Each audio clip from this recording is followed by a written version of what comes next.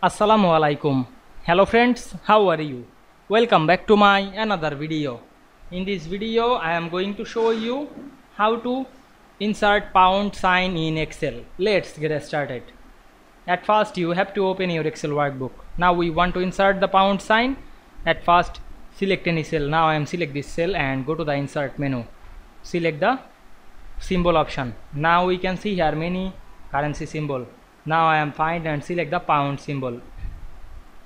We can see here the pound. Now I am select this and click insert. Then close the window. Then select the text or symbol, increase the size. Now we can see we insert the pound symbol in Excel easily.